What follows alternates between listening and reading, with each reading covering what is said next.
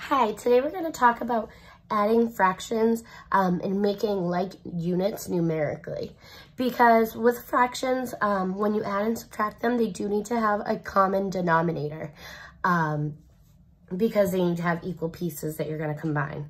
Um, so we look at these and we used to make pictures but when you have three add-ins, you can't do pictures anymore. Um, and this is also just a more efficient way than doing the pictures. So we have to try to see how to make these denominators the same. We have 5, 4, and 10. So I'm going to write 5, 4, 10. And I'm going to skip count by both 5, 4, and 10. So I'm going to go 5, 10, 15, 20, 25. I'm just going five times with each number.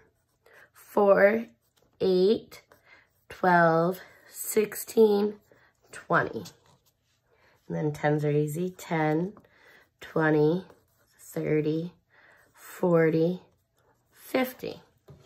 Now, I need to look at all the um, all of those numbers and say, all right, which number do I have in 5, 4, and 10 that are the same? And you want the smallest number to be the same.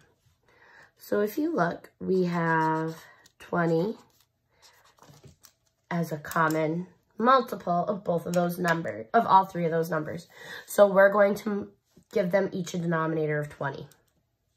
So to get from 5 to 20, we need to multiply by 4.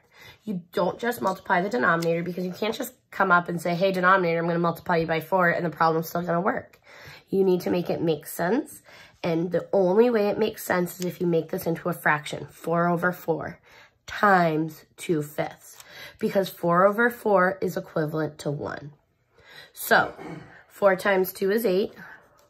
4 times 5 is 20. We have our first fraction renamed for addition at the end. Now we have 1 fourth. We have to multiply 4 by 5 to get to 20. So again, you have to multiply the numerator and denominator because then you have 5 over 5. It's equivalent to 1, which means this is okay to do in math. This isn't breaking any rules. You get 5 twentieths. Now we have 1 tenth.